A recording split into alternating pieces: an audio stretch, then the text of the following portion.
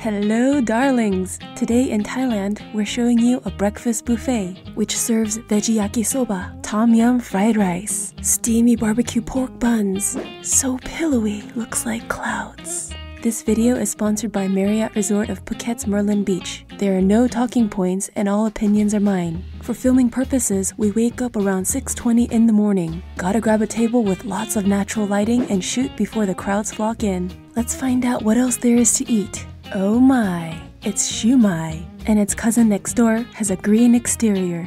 Poha, Indian flattened rice. We also have potato curry. There's a noodle station where a gentleman heats up your selection. Fill up your bowl with vegetables and protein balls made of either chicken, pork, beef, or fish. Hand it over and let the magician do his thing. I feel like I'm waiting at a street food stall and watching the goodies be made right in front of me. Once you get your noodles, feel free to add in fish sauce and more. As for me, fried garlic. Mmm. These eggs are cooked in perfect circles thanks to the stencil. Grilled tomato with pesto, mini quiches of mushroom and onion, fried fish with capers, chicken sausages, wok fried mixed veggies, baked beans, sauteed mushroom, sauteed potato, gravlax salmon, salami, Gruyere cheese, Emmental cheese, blue cheese, brie, croissant, raisin muffin, banana cakes, buns with sesame seeds, chocolate bread. For those craving fresh veggies, come on over to the salad bar. Sliced cabbage, lettuce, and pepper await. Top it off with dressing, crispy bacon, and garlic crouton. Meet my loot. I decided not to pig out as I like to practice mindful eating. Moderation is happiness. That's not to say I'll always be doing things with perfect balance, but I'll do my best. What should we try first? Shumai. The savory on the mild side. Now the green one. Is it the same flavor and just a different color or is it a different flavor? Mmm, that one seems to have beef in it. This is our sixth day here. Usually in the morning for the breakfast buffet, I'd get broccoli, um, mushroom, and other vegetables. Today I want to give you a more extensive food review, so I got all kinds of goodies on here. Ooh, it must be pork. All right, so the exterior skin is a little fluffy. It's quite thick. Actually, the bread part is delicately sweet. The majority of the flavor power comes from the filling. It's more sweet than savory. Mamio finished round one and is reading. What I really enjoyed the other day was the quiche. You know, some foods are time sensitive, and when you eat in humid climate, it's even more time sensitive. The other day when I had this, the exterior was a little bit more crunchy, but today it looks like the moisture in the air beat me to it. It's a bit softened. So we're sitting outside next to the pool. You know, it doesn't look too early considering how much light is out, but it is uh, about 7 a.m. Pesto sauce chillaxes on the half tomato as a pool of olive oil gathers. And I'm gonna cut it into more manageable bits. What was your favorite thing you ate this morning so far? uh, omelette, the vegetarian omelette, Do you like it because of the nutrition or because of the flavor? because you know the form shape looks like croissant. Mamio likes the omelet because it looks like a croissant. I like it. Next, let's try the fried fish with capers. So the outside is a bit crispy and it's oily. And has some fish when you bite into it, just like breaks apart in a very smooth way. But what's got that? It's a bit of a comfort food. Reminds me of fish and chips. We shall now cut the perfectly circular egg. Oh yes, that's runny. Look at that. Ooh, I want to have it over quinoa and just let it drip on there. One of the challenges of food vlogging is using only one hand to cut things. It's pretty standard.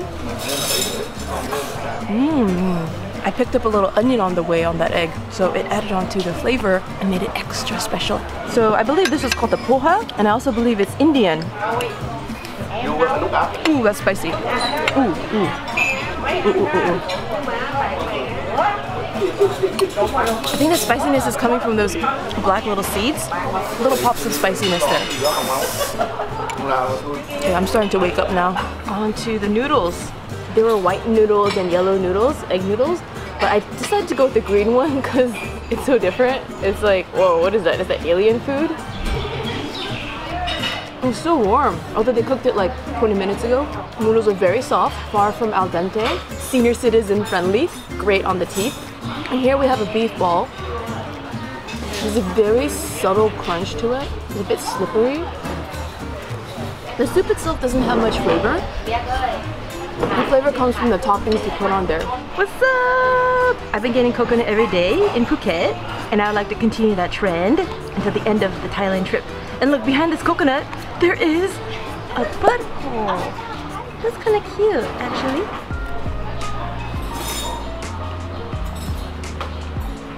Every time you have a coconut, it's not the same. Some coconut is sweet, others a little bit more shy. They're uh, introverted sweet. This one's a bit more on the introverted side, but tasty nonetheless. So refreshing, especially in this humid weather. Oh, and look at the meat in that. Nice, white, and thick. Sometimes coconut meat can be a little purple and uh, very thin and translucent, but this one's solid. 100% opacity. you know what? I would be happy just to have a coconut buffet. Just drink as many baby coconuts and have coconut cake, uh, coconut pancake, anything with the coconuts. Their coffee is very good. Why does it taste good? Strong. Ah, strong. Now it is time to get dessert. Oh, the chocolate croissant here. Oh, and it's fresh. It's like, ooh, I want some more of that. Feeling fruity? Perhaps you'd like some jackfruit or zigzagged papaya. Have you tried rambutan before? They look so crazy, I like it. I have a life changing question for you. What is your favorite cereal? And what kind of milk do you eat with it? Honeycomb hangs as sweet goodness slowly drips into a bowl. Now, this is what you call slow food, because you're gonna have to wait. Oh, it's gonna be so yummy. Various toppings for yogurt, or if you just want a snack. Dessert. You got dessert. Looks like you got three kinds of ice cream. On the bottom, there's yogurt. Got myself banana bread and pain au chocolat. Meet my ice cream flavors Thai tea, coconut, and chocolate. Witness how the melted ice cream flows over the icy bits. The movement reminds me of water falling from rocks. Every morning here, I've been having yogurt with nuts, nuts, nuts. Because ice cream is melting, uh, let's have that first. Let's get a taste of the coconut ice cream. Sweet enough to put a smile on your face, but also not too sweet where you're like, you feel like parched and there's a desert in your mouth. Let's try the Thai iced tea. You know the flavor of Thai iced tea? Yeah, it's got that. You know, some ice cream flavors, they say like, they mention a fruit or some sort of star ingredient, but you don't taste it. You know, that makes me sad. But this one, it tastes like what is the name. Now, let's try the chocolate. Oh, as you can see behind me, more and more people flocking in again. That one's thicker. It has a little bit of a texture of gelato. Now the coconut ice cream, it just melts in your mouth. Yeah, different texture. The chocolate ice cream, it feels like all those particles are holding onto their hands tighter compared to the other flavors. The chocolate pastry looks like it's sticking out two tongues. I highly recommend you try this when it's fresh out of the kitchen. Because this time, the humidity has beat me to it. The banana bread is quite speckled and appears to contain walnut. Now this one tastes more tropical because it's a little bit of a banana flavor. Definitely bring in your nose when you eat this. It smells beautiful. More beautiful than the flavor, than the taste. Due to the warm weather, the ice cream has melted in 100 blinks. I wonder what the triple blend will taste like. It's a little confusing because there's so much going on in there. It's actually pretty good because it tastes sweet. Identity crisis ice cream. Happy identity crisis though, to be exact. Sweet identity crisis. I'm gonna do something that Mamio loves to do. Dip the bread in ice cream. It's Mamio's favorite dessert combo. Oh! My chin is having identity crisis. Now this is plain yogurt. This is something that I eat almost every day in America. Plain yogurt, Greek yogurt to be exact, with some honey. Uh, there are periods where I just have only the plain yogurt without any additional toppings. But these days, I do the honey. I think you're gonna finish that book today. Yeah. 8.06 a.m. That's a floating coconut as my screensaver. By the way, there's a coffee and tea station outside with full fat milk and low fat milk. You can also order waffles. Hope you guys enjoyed eating breakfast with us. Remember to subscribe and hit that notification bell. For food and travel in Korea, check out my other channel, Sweet and Tasty TV. To relax at night, listen to ASMR Bedtime with Miss Mina. We read, crunch, crinkle, and more. In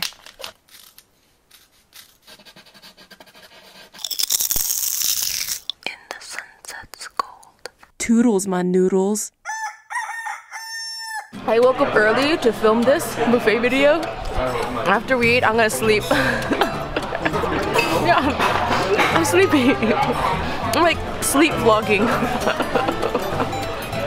sleep eating and sleep vlogging.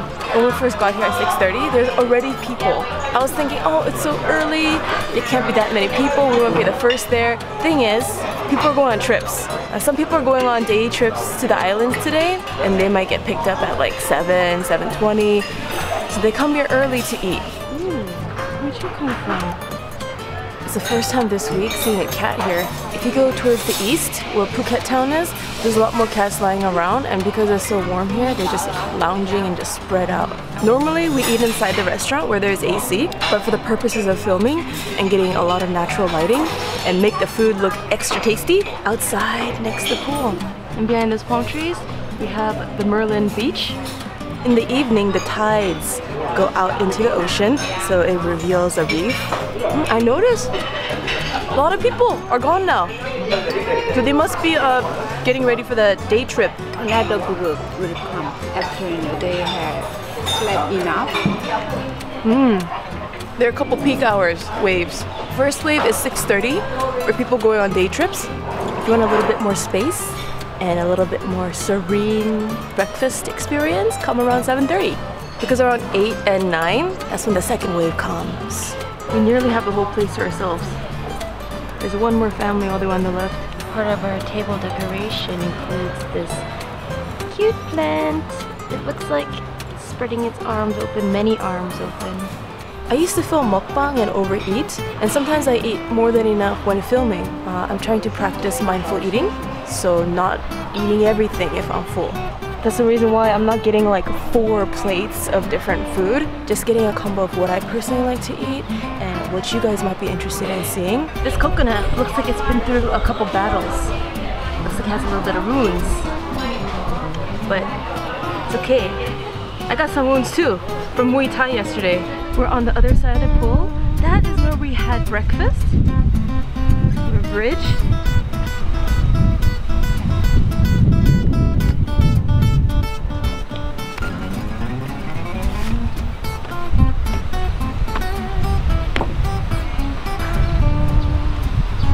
And then the path is a path here that leads to the other bridge.